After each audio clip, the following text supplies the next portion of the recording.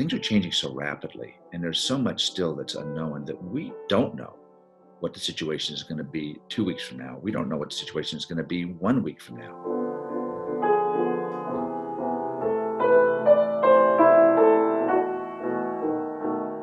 Some individuals are symptomatic and others are not. And so it has had a bit of a fear of the unknown uh, that has been complicated by how quickly it has moved uh, really around the world and certainly within the United States and uh, within the Atlanta area. So um, that has been unsettling for all of us.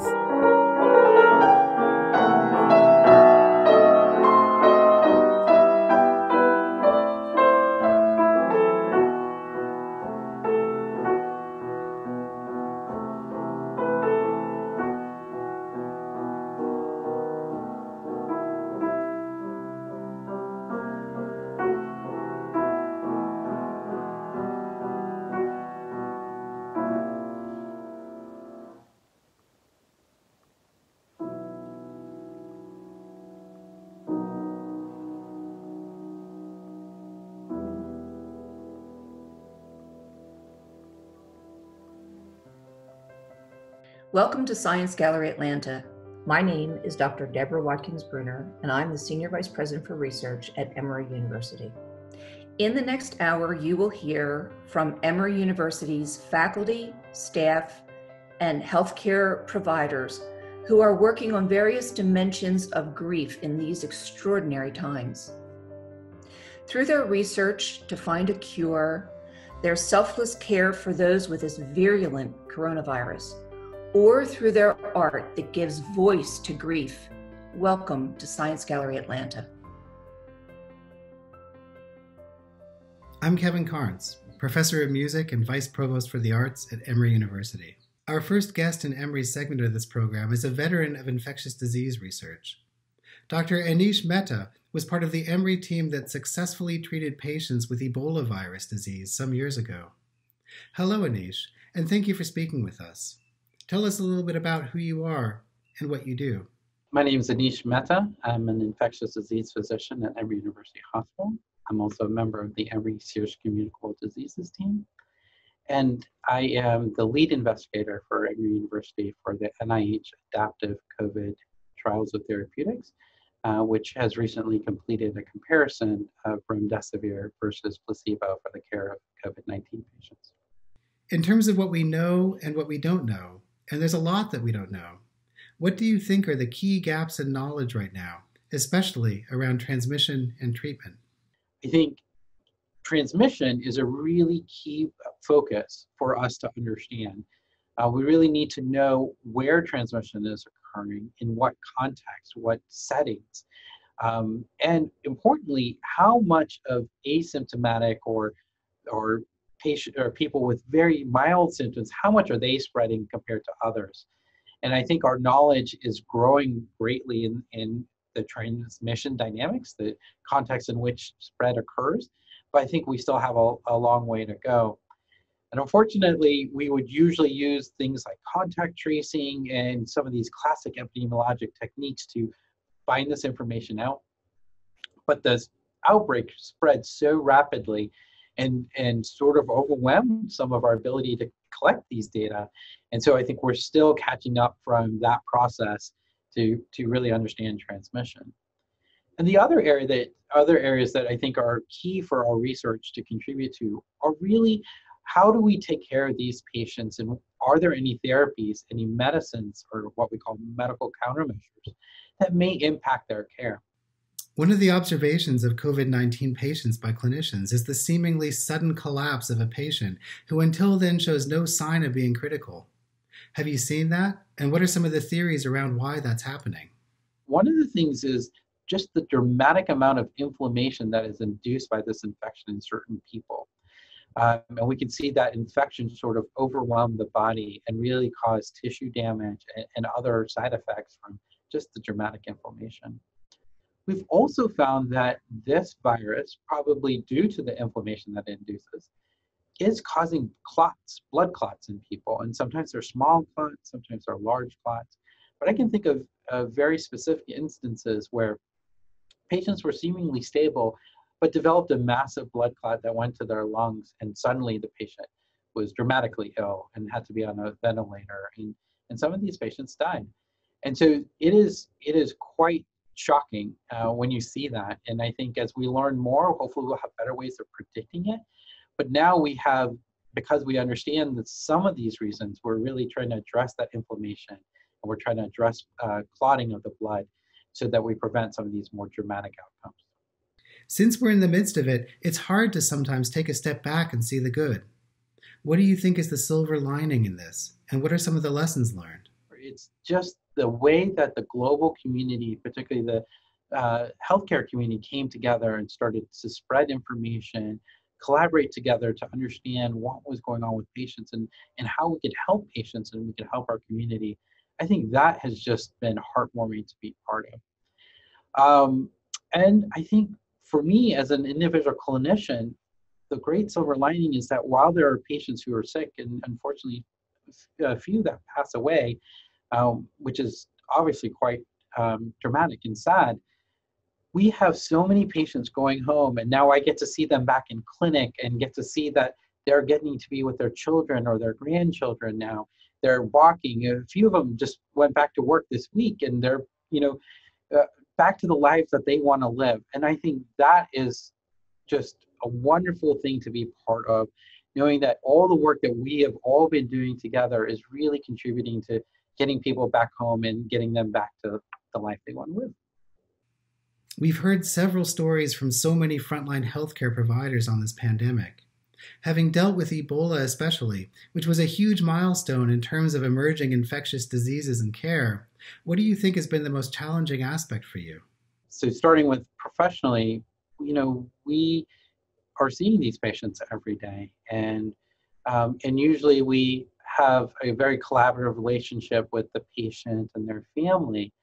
But in this setting, the patients are isolated from their family, and that's quite tough to watch your patient not being able to be there with their loved ones because you really want that support to be part of their medical care. And, it, and we do have technologies that allow them to talk to them, but it's not quite the same as having your spouse or your parent or your child in the room with you to give you that support. And that's hard to watch for, for our patients for sure. And, and clearly the patients that we've lost are, are quite difficult. Um, I think we are, um, we do have patients that pass away from infectious disease, but usually we um, know what we're treating and we have things to treat them with along with the great clinical care. And we have um, not seen this amount of mortality in a communicable disease in a while. Would you feel comfortable sharing a story that in your mind illuminates the science of grief from a healthcare perspective? there was one case that I think has really sort of affected me. Um, and it, it is in a, you know, sort of a, a heartbreaking yet beautiful uh, way. Um, so there was a patient, and uh, this is, you know, a very an elderly gentleman, but very high functioning, runs a business, very intelligent. And uh, we talked about the study, wanted to think about it. He talked it over with his granddaughter and, and I talked it over with his granddaughter and you know we all came together and decided finally that um, this was the right study for him and he agreed to be in it. And so we gave him one dose of the medicine and then he did fine and then suddenly the next day he got very ill very quickly. And again quickly transferred to the icu um, and unfortunately even before we can give him the second dose of the medicine he had a cardiac arrest and the ICU team fought valiantly for him for hours to try to revive him, bring his heart back. Um, but it became very clear that he was not going to survive. And so um, he had this wonderful grand, he has this wonderful granddaughter who um, has been his uh, medical caretaker. Um, and, and so we all, very well understood what was going to happen. And he had this wonderful nurse, Alex, who stayed in the room with him to keep him comfortable during the dying process, but also had his cell phone, the patient's cell phone, charged and, and so his granddaughter could talk to him. We witnessed, all of us, um, this wonderful granddaughter talking to her grandfather as he was dying and just saying wonderful things to him, telling him stories about their life together. And again, it was beautiful yet heartbreaking. Um, it just shows that what we do scientifically has and medically has a dramatic impact, but also what we do in our communities and the family that we live with and the family that cares for us is so much more important. And while she couldn't be in the room, we found a way for her to be able to talk to him during that process. And that was really meaningful. That just little bit of being able to hold that cell phone and and his nurse just staying there for all that time, just holding that cell phone to his ear so his granddaughter could talk to him was was really meaningful and will stick with me for a long time.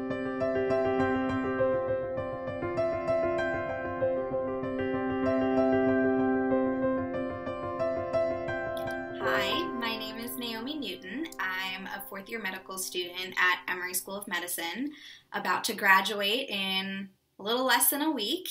Um, I'll be doing emergency medicine residency. I'll be starting my first year of residency at the um, University of Miami Jackson Memorial Hospital. Super excited about that. So I'll be heading to Miami, Florida in a couple weeks. So, uh, a little bit of background as to why I wrote this poem. Um, it was actually an assignment for a literature and medicine class that I took back in March. And towards the end of the class, as we were getting ready to kind of wrap up our final papers and submit everything, our professor asked us if, in addition to our final paper, if we could just write a short reflection on the COVID 19 outbreak, since that was something that we were all kind of living through and adjusting to at that moment. So this poem was born out of that. Um, I do love to write. That's something that I've always enjoyed doing even as a kid. So whether it's poetry, essays, short stories, plays, all of that, um, words have always been very important to me. I love to read, I love to write. Um, I just think that words have a lot of power and a lot of magic in them. Also, as someone who's going into emergency medicine, you know, that's a field that's very much built on service and advocacy, and I picked it because I wanted to work on the front lines of healthcare. So for me, it's kind of like I wish I could be there to help, but then also realizing that I am very much in my early stages of medical training. So then there's the question of how much help would I would I really be? Would I even if I could be in the hospital right now, would I be more in the way? And then thinking about going into residency, which is going to start in a couple months, um, that imposter syndrome too, that that idea of okay, well now here's my chance to step up and serve, but am I equipped for the task? Am I am I ready? Will I be in the way instead of being useful when I'm on when I'm actually there trying to to help? So I think all of those feelings kind of ended up in this poem. And for me, I think art really informs medicine. Um, I think that the ability to process your emotions makes you more empathetic and it makes you more ethical too, right? A lot of the feelings I described weren't necessarily feelings that I'm proud of, um, but they were feelings that I had to work through. Um, and I think it's important to acknowledge all of those feelings because if you don't acknowledge them, then you just kind of repress them and then that eats away at you and is counterproductive. But I concluded with this idea that to be human is to suffer it's to experience all of these feelings good and bad to have you know lived through something like a pandemic that is part of what it means to be human but to be human is also to create. And I think holding on to that will help us heal as we work through this challenging new experience together. So now I'd like to share this poem with you. The poem is entitled Hubris. Hubris. I'm on the cusp of something so important, yet I'm relegated to the sidelines. Medical students were banned from hospital rotations, although the school held out until the very end. Students are like dutiful postal workers.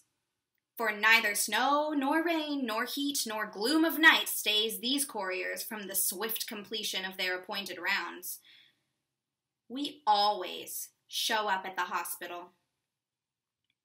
That is, until they run out of PPE. And remember that we're non essential workers who are always in the way, yet trying ever so hard to be useful. I know it's not about me, and I'm all too happy to surrender a mask to a clinician or staff member who needs it to do their hero's work. I don't care about missed match days and doctoral hooding ceremonies. How could I? When so many are suffering. In fact, I'm proud of the ways that my classmates have banded together to do our duty remotely and provide hope and relief to our wearied leaders. But a small part of me, the part that can't wait to shove my short white coat into the back of my closet and embrace the title of emergency room doctor in early June. Wishes that I too could answer the call to arms and join my colleagues in this worldwide virologic battle. At the moment, I feel useless and far removed as I zoom into classes and scroll through viewing options on Netflix. Totally isolated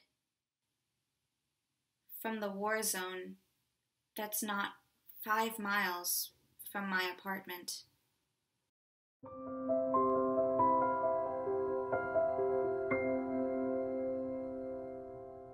Healthcare providers are on the front lines of this crisis, caring for others with COVID in a time of great uncertainty. We have one of those heroes with us today, registered nurse Josia Mamora. Welcome. Hi, I'm Josia Mamora. I'm a nurse clinician here at Emory Healthcare. Um, I'm also one of the lead uh, nurses for the Serious Communicable Disease Unit, otherwise known as the Ebola Unit. You have been on the front lines of two of the most deadly viruses of our generation, both Ebola and COVID. Can you compare and contrast? How, how is COVID different? COVID's different in that it's an actual global pandemic. Um, uh, Ebola was more of like a, a, a regional pandemic where multiple countries, um, a lot of patients, um, but it was pretty much sequestered into a small region of, of, of the globe still a large region landmass wise, but specifically eh, sequestered in, in you know in, in, just one continent. And then we had our, of course, we had our small um, hospital outbreak here of, of two patient two patients who were, who were healthcare workers in the states. Um, but most of our patients were uh, repatriated folks uh, from uh, West Africa or workers, uh, healthcare workers from West Africa. Um, COVID is more of a global pandemic in that where you get COVID and how you how you've gotten COVID in the in the epidemiological sense, it's it's hard to ascertain at this point. Um, we, we all know it's from you know the origination is from Wuhan, China, but um, as for healthcare workers here, if they get it, where did they get it from? The patient, the community. So Josia, in the middle of all that you've been dealing with, we understand that your mother was infected with COVID and she yeah. lives in a different state. I, I can't even imagine what you must have gone through. Can you tell us a little bit about that? Yeah, it's, um, you know, it's a little weird. Um, having kind of experienced being on the other side of, um, of the healthcare system, you know, like being a, not, well, not, not necessarily a patient, but having a patient or a loved one in, in the hospital um, being that it's my mother and she was progressively getting sick, um, and working in the COVID units myself, it's like I know the isolation that can happen for our patients. You know, you know um, I every part of me wanted to go to California, get the next plane ticket down, and try to visit her. But I mean, knowing that the standardization of of protocols throughout the nation about you know pretty much no visitors within the COVID areas, um, and then knowing as well that my family who are not in the hospital are probably as well COVID positive because they all live in the same um, house. Uh, it, it, it's a weird feeling to where it's like you, you want to be there for your family and your loved ones, but you really aren't allowed to visit, and you know the reasons why you can't visit because you're a healthcare worker. Um, you know, thankfully it's you know 2020 and we have enough technology to be able to uh, visit our loved ones virtually. But again, it's not the same. It, it, really isn't the same. It really feels very isolating for patients. And you know, I I've, I've talked to my mother, and she said the same thing. It's very isolating. Um, and I think the hardest part for, especially you know, thankfully didn't happen to my family specifically, but my mother experienced a certain level of survivor's guilt because she had friends as well in you know in part of their church community that did get sick as well and they didn't pull through. And by the time my mother was coherent enough to kind of understand all this she it, it, it was hard. And, and, you know like I, I wanted to be there to give my mother a hug and comfort her. But again it's in this kind of time period it's just not not a possible thing to do um, physically just because you know we're we're trying to socially distance ourselves and keep ourselves protected so you said you would love to have hugged your mom and i hear you're a hand holder as a good nurse should be and that it's been very difficult for you not being able to be with the patient at all times that you've done some novel things like uh, put baby monitors on the other side of the room so you can uh, yeah. communicate. So how does that work?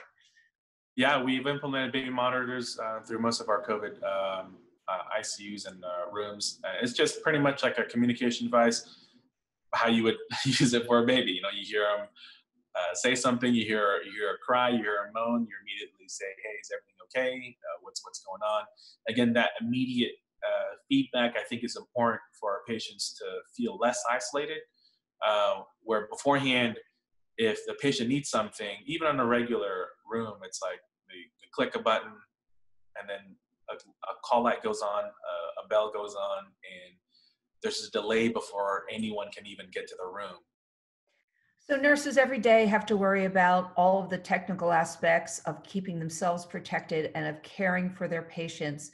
And yet you are describing one of the most fundamental principles of being a nurse, and that's the human side and caring of nursing your advocacy, you are heroes.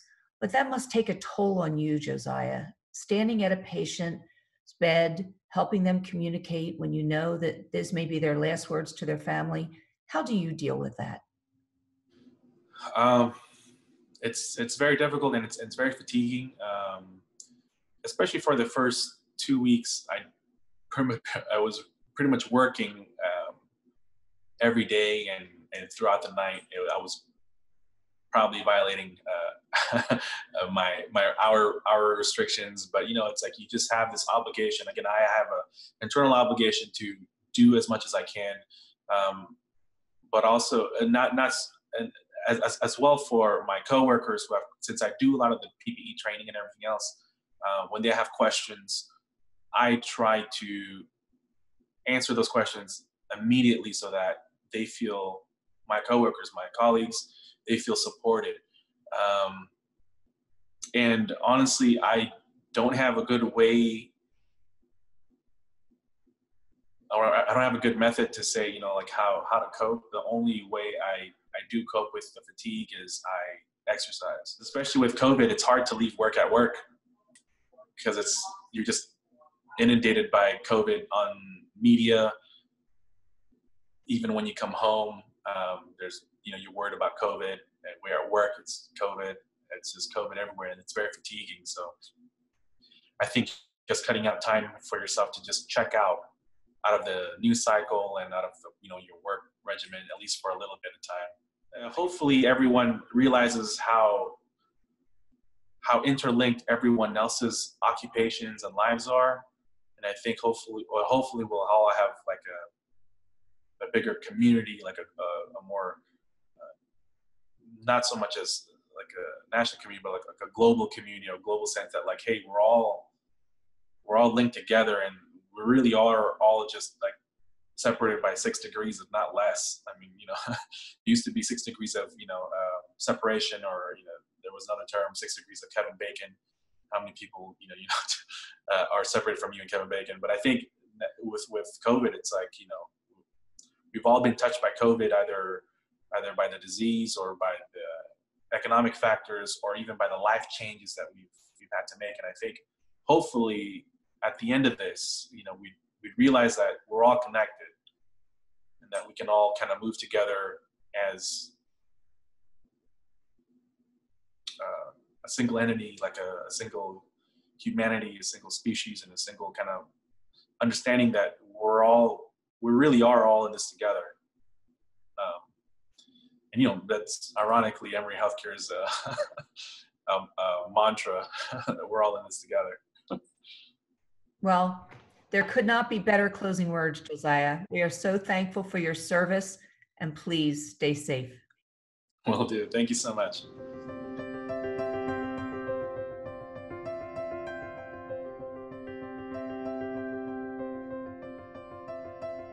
Dr. Nadine Kaslow is professor and vice chair of psychology and behavior services at Emory University School of Medicine.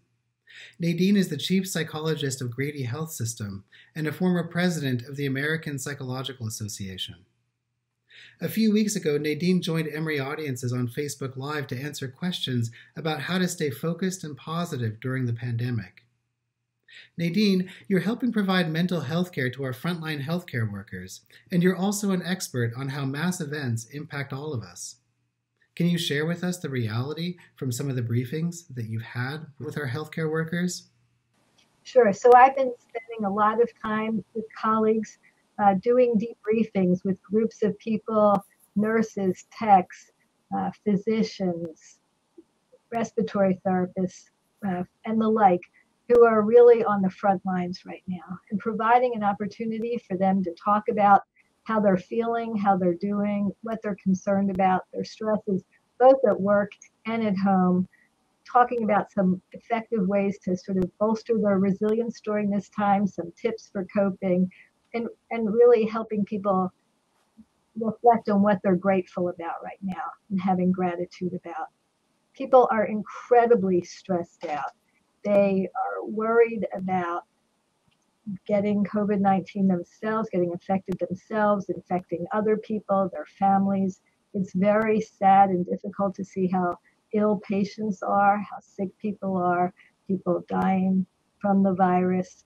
Uh, there's not enough protective equipment to go around, which everybody's been hearing about. Everyone's grateful to the community for all the ways they've stepped up for healthcare workers, and that's one of the things people are most grateful for. But people are scared and they're panicking and they're angry at sort of systems not able to take care of them as much as they need to be taken care of.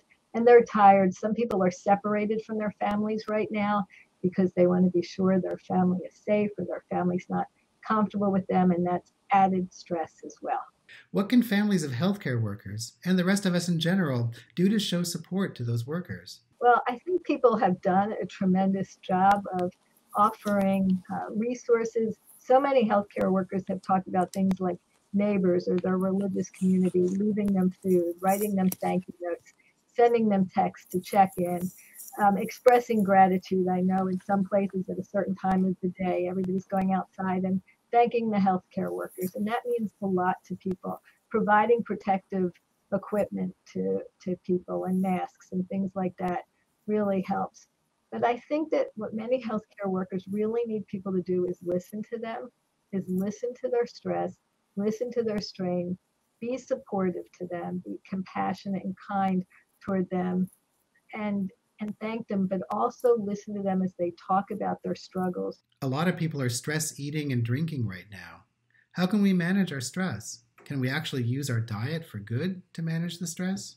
So I'm glad you raised the issue about drinking because that's absolutely inc- alcohol and drug misuse. Again, in the extreme would be other indicators that people are really struggling and and may need to seek help. Whereas some people are doing things like having virtual happy hours and enjoying those and maybe doing that a little more regularly than normal. That to me seems like a reasonable way to cope. Same thing with the eating. Again, a little bit of stress eating, that's within the normal range right now. If somebody starts gaining 20, 30 plus pounds through this, that would really worry me. But if a lot of people gain, you know, a few pounds, I think that's quite understandable. But to me, sometimes stress eating is comforting. I, I don't think this is the time to really try to limit yourself too much unless it's really out of control. But I do think that it needs to be balanced with exercise. How do I deal with feeling helpless and powerless right now? So, feeling helpless and powerless, again, just like the anxiety, very understandable reaction. I think what's useful to do is differentiate what you can control and how you can control that and do everything that you can, and then what you can't control, and us all get to a place, excuse me, of being more accepting of that. And so I think that when you feel helpless, sort of stop and say, what is there that I can control? What am I doing to maximize my coping and problem solving related to that? And then what is it that I simply, unfortunately, cannot control? And how do I come to some kind of peace with that, some acceptance, and also sort of ponder larger, more existential questions related to that when you don't feel in control. Nadine, thank you for covering so many topics and areas of concern for us. If you or someone you know is in need of emotional support at this time, here are some contacts for people who can help. Please reach out.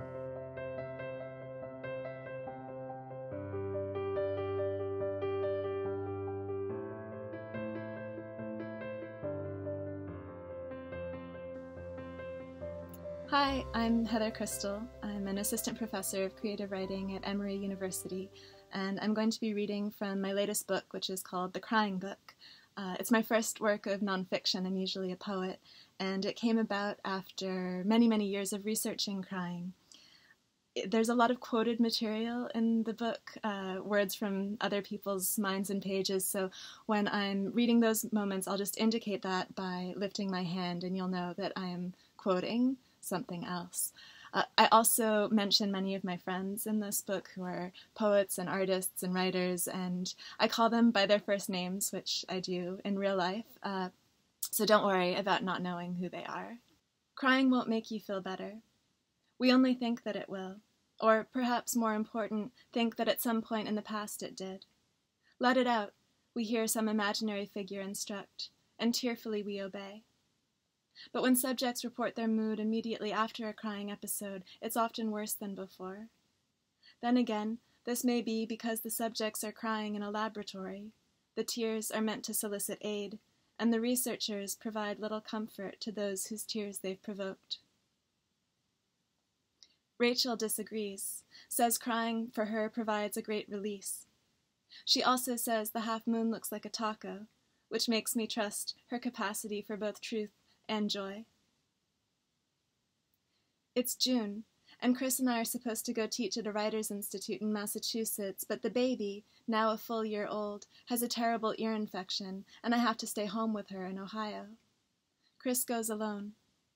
I cry at the loss of precious time with dear friends, at the chance to be someone and something other than mother. Chris is supposed to give a reading with Jim, our old teacher, our beloved poet, husband to Dara, a parent to Emily and Guy.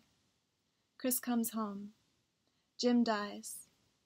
I turn, as one does, to his poems. You cannot weep.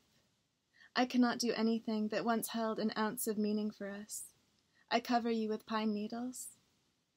When morning comes, I will build a cathedral around our bodies, and the crickets, who sing with their knees, will come there in the night to be sad, when they can sing no more. Emily and I exchange techniques to stop crying. There comes a time, we say, when one is simply not in the mood. Pick a color, she tells me, and find every instance of it in the room. I pick blue. I pick dark green. One day I call her and say that if I start to cry, I want her to squawk like a chicken. When my voice starts to shake, she panics and quacks like a duck. Then I am laughing and crying all at once, wet and loud and thankful, and it feels as if my heart has turned itself inside out. There are other ways to stop. One day, reading Joan Didion, I learn a new method. It was once suggested to me that, as an antidote to crying, I put my head in a paper bag. As it happens, there is a sound physiological reason, something to do with oxygen, for doing exactly that, but the psychological effect alone is incalculable. It is difficult in the extreme to continue fancying oneself Cathy in Wuthering Heights with one's head in a food fair bag. Among WikiHow's How to Stop Yourself from Crying, my favorite step is remove the lump from your throat. A surgery by active will. I imagine it falling into my hand like a doll's pacifier. If you cannot stop your tears, or if you must take your cried out face into public, you can hide behind a lie about allergies or a cold. You could, like Roland Barthes, don dark sunglasses. The intention of this gesture is a calculated one. I want to keep the moral advantage of stoicism, of dignity, and at the same time, contradictorily, I want to provoke the tender question but what's the matter with you? I fear the tender question, whose ever elusive answer will only stimulate more tears. The hiding is a way to stop other people from trying to help, a way to not have to explain precisely how and why I cannot be helped. I'd like to hang a little sign on each lens, out of order. When Gabrielle sends me a passage from Michelle Tea's novel Black Wave, she is trying to help me with my writing, not with my crying, but I find ideas in it to try out in my own life. She kept tablespoons in the freezer, would place their rounded bottoms on her eyelids. She kept chamomile tea bags soaking in the fridge. She kept cucumbers handy and would layer her face in slices. At a beauty store, she selected a product with raspberry extract that promised to reduce eye puffiness. In the novel, Michelle does not find the people's suggestion to use preparation H on puffy eyes useful, but I buy some anyway. The ointment form is too greasy, but the cream seems to help. I love the way people offer these remedies to one another, the care of tending, the way they try to offer an answer to a problem without lobbying a query of their own. People want to know can the phoenix's tears bring someone back to life? They go to Yahoo Answers, and everyone weighs in. No, they can only heal wounds. They would not even heal a dead person's wounds, for the tears only make the skin heal faster, and dead skin does not heal. And even if it did heal, the tears cannot bring them back to life by shocking their heart back into motion. Reading this is like riding a water slide of tears. I go down it again and again. There is no phoenix and no phoenix tears, and nothing can bring back the dead. But these words, these hopes, and these breathless responses, they can shock a heart back into motion. I have felt it, have felt myself alive.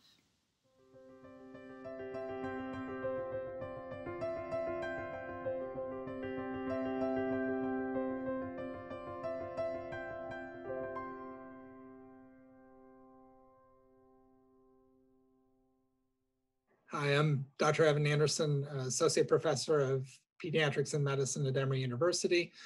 I'm the uh, principal investigator at Emory University of the uh, mRNA vaccine that is being developed for uh, COVID 19 response. One of the things I've heard is that there's been a huge response in terms of people calling and wanting to be on the trial. Is that unusual? What does that tell you about the hunger for this? Uh, we have had a very um, significant response with a lot of people expressing interest and potentially volunteering for uh, the study. The initial screening uh, visit is usually hour and a half, sometimes two hours uh, in length, um, and and very critical as far as trying to make sure that we're really identifying um, people who are otherwise very healthy without a lot of other medical comorbidities, which might complicate um, our assessment of the safety and the immune response to the vaccine. In the age group, is anyone over 18? Yeah, so the study initially started as being 18 to 55, but then has been expanded up uh, with no upper limit from the age standpoint.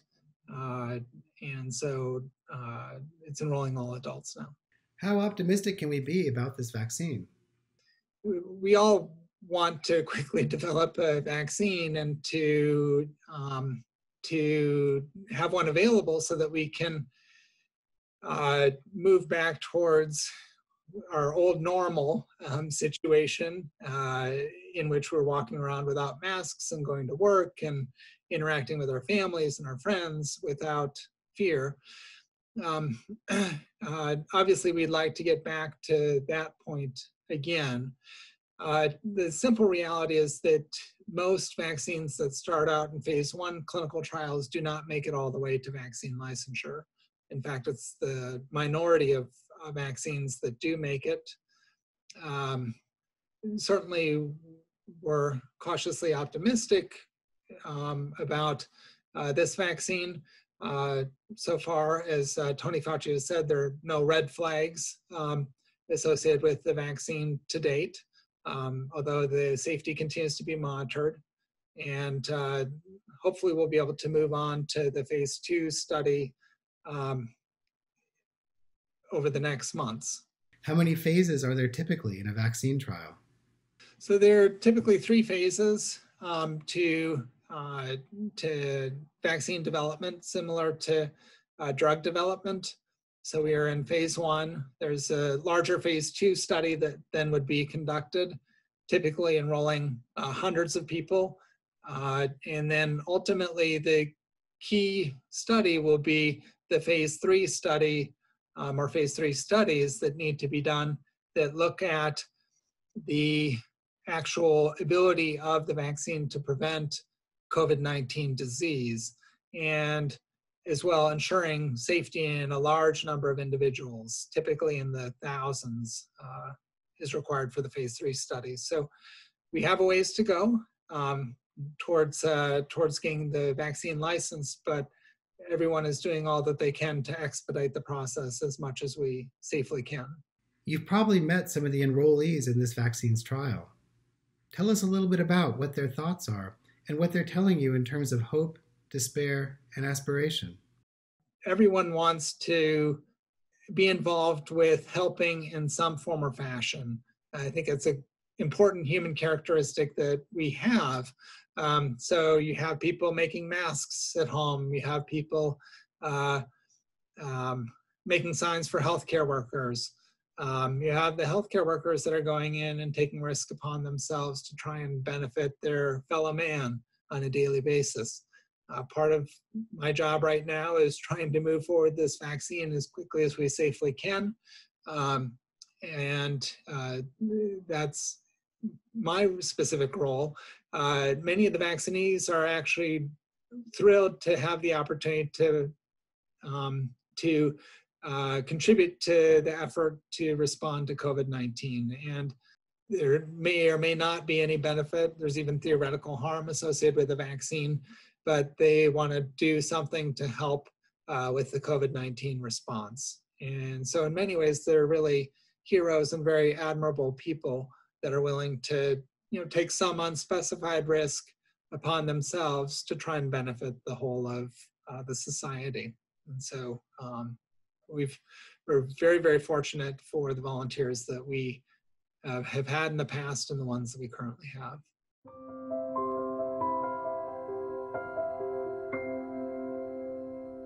Our next healthcare hero is a registered nurse, Letha Love. Letha, could you tell us a little bit about yourself, where you work, and where you are now? My name is Letha Love, like you stated. Um, I work at Emory Healthcare at um, Winship C, and that's the uh, Cancer Institute at the main campus. Um, right now, I'm in Manhattan, New York.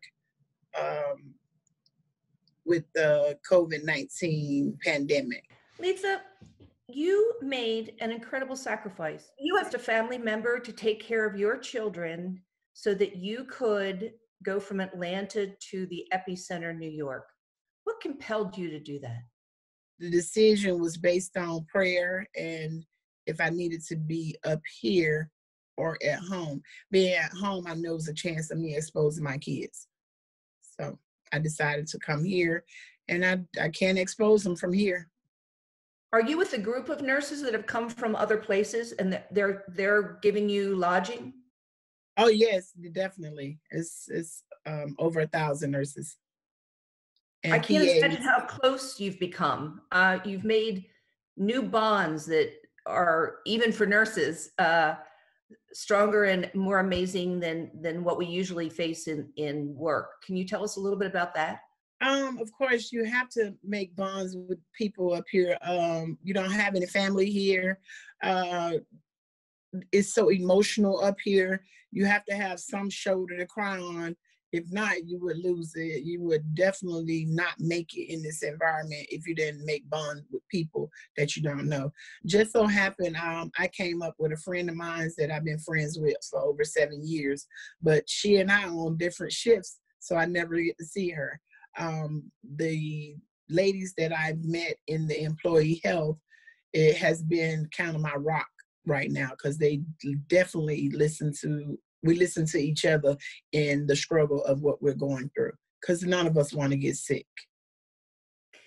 You know, and speaking of that struggle as a former ICU nurse, I know that you are used to critically ill, dying patients. What is different about this, Letha?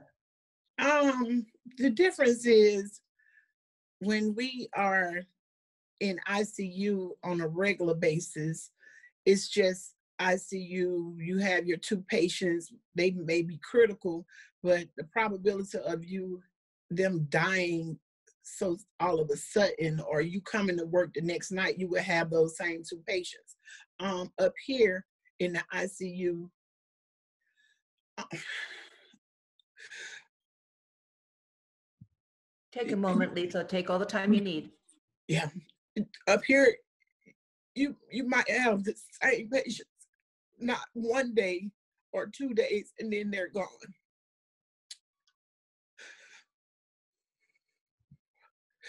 Um, I, have never been in a hospital, and I've also worked at Grady, and I know you know what Grady, how Grady is. I've never heard so many codes in one night. Um, seven and eight different codes and not only just icu all over the hospital in the er on med surg um i mean just codes all night every 30 minutes uh, almost.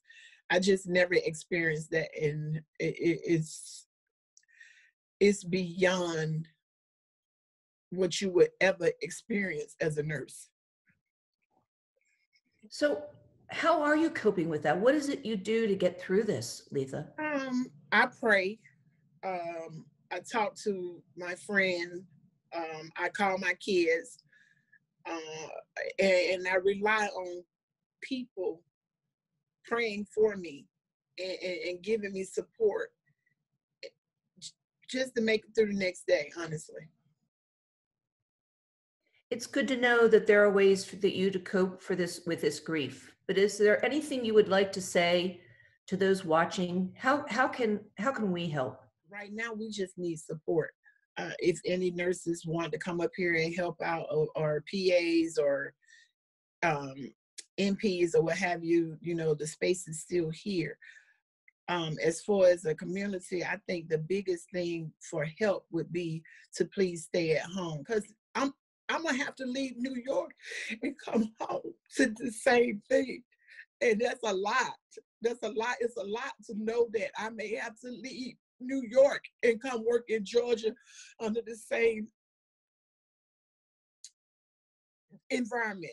And it's a lot just because now that weighs on my mind. And that's my question to people.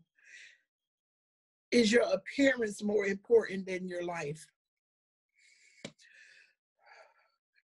Letha, we're very grateful for your time. Our thoughts and our prayers are with you. Yeah, thank you very much. Thank you.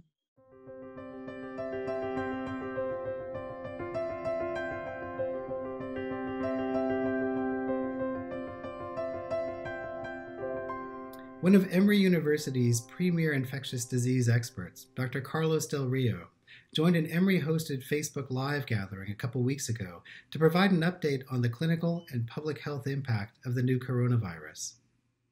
Carlos, what are some factors for higher mortality rates in our community? We're looking at that, we're studying that. Uh, I think several possibilities. Number one is health disparities. Uh, number two is, is higher, uh, higher prevalence of uh, of diabetes and hypertension. Remember, we're in the we're the diabetes belt, right? A lot of diabetes in, in our population. So diabetes, hypertension, obesity may be more prevalent, which drives mortality. So again, this is this is the the, the sort of the, the the clashing of diabetes, hypertension with an infectious disease is, is, is being lived right now in our in our community. How does wearing masks help slow the spread? One of the things we've learned, and we're pretty certain now, is not only that there's asymptomatic or pre-symptomatic transmission. We now know from a recent study that about two to three days before you develop symptoms, you're highly infectious. And in fact, some of the studies suggest that maybe up to 40 to 50% of transmissions occur during those two days before you develop symptoms.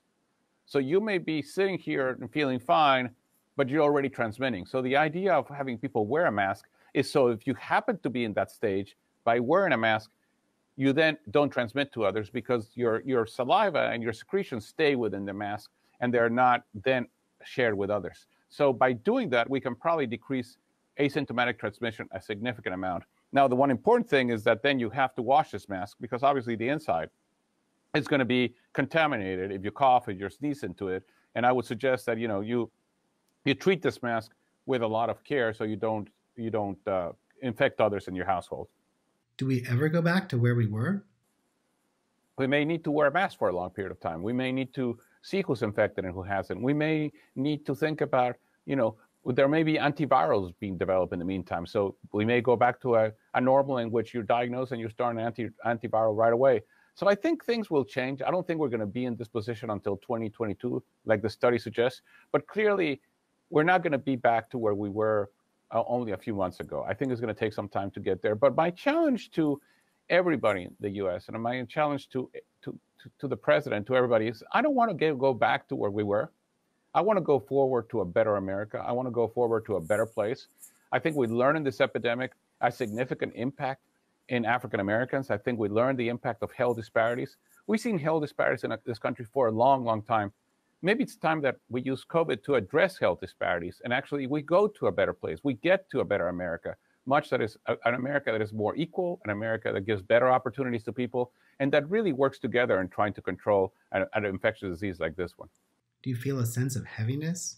Uh, yes, you do. You feel the heaviness. You feel the uncertainty. You feel the, you feel powerless, right? And I think what what we hate in our lives and when we have no control and the lack of control is something that as humans is is very disturbing and and and you wish you could do more but you can't and you're trying to do the best and and not not always the best is is the right thing and you make mistakes and you you wish you could you know get on a plane and go uh, visit your kids and your family and and you can't what are some of the good things that you're seeing well the glimmers of hope is that number one, we are seeing benefits of social distancing, and we're seeing real benefits. More hospitalizations are are less than expected in many cities, and mortality is coming down. I mean, in the country, if we hadn't done the things we were doing, we would have seen 1.8 to 2.2 million deaths. We're going to see 60 to 80,000 deaths. That is a huge difference. I mean, still 60 to 80,000 is a lot of deaths, but it's a lot less than 1.8 to 2.2 million.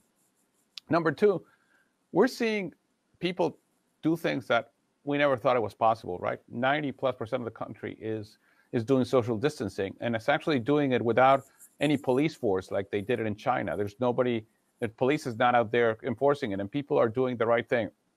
And I think that shows what citizenship is like. We're seeing enormous, enormous acts of kindness. I mean, I'm a, I'm overwhelmed by the number of people that are that are sewing masks, that are sewing uh, gowns, that are uh, bringing coffee to and, and food to physicians and to nurses and to healthcare workers, the, the amount of, of, acts of kindness that we're seeing are, is just overwhelming. I think we're also uh, seeing what the benefits of science are. I mean, we discovered this disease late December. The virus was, was described early January. We now have tests. We have a vaccine. We have several. We have 70 vaccines being tried. Three of them already in clinical trials in humans. We have multiple medications being tested. So science has really accelerated the way in which we can respond to this disease. Otherwise, you think without science, where would we, we be now? And, and I see as an enormous uh, glimmer of hope the amount of, of international solidarity and uh, of, of collaboration that we're seeing uh, across scientists, across communities, across the country. I mean, to have people, you know, go to New York to help out there, to have people, you know, uh, nurses in, in California willing to go, that they're not busy enough, willing to go to New York to help out. So the amount of solidarity and the amount of, of, of, of kindness that we're seeing, to me, are, are glimmers of, of, of who we really are and the humanity that actually is, is what, what we all live for.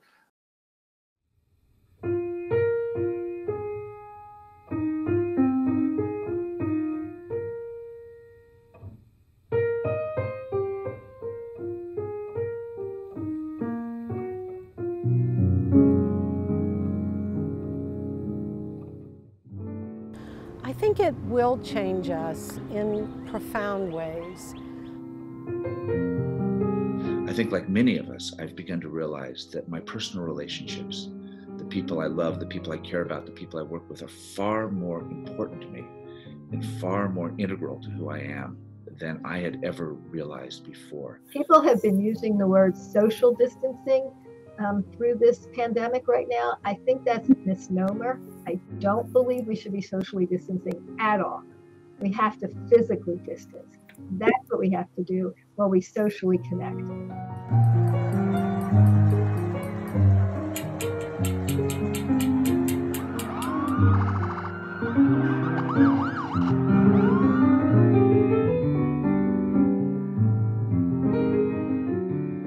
The chiming of the bells will have a special place in um, our collective memory. You can hear them uh, as I speak.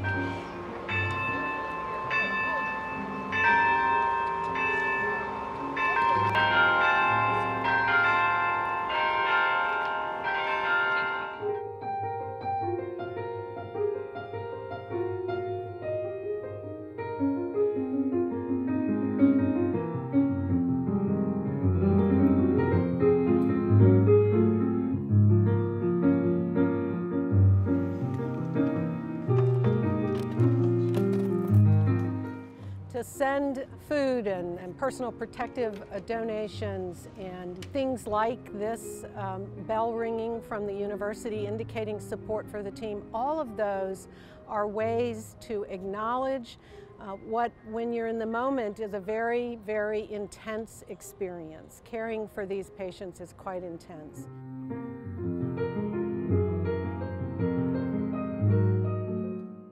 One of the greatest gifts we can give ourselves and our children be to commit more resources, far more resources, to developing strategies for being ready for the next one of these pandemics so that when again we are forced to confront something like this, we won't be scrambling. As a society, as individuals, as a culture, we'll be better prepared to meet it head on.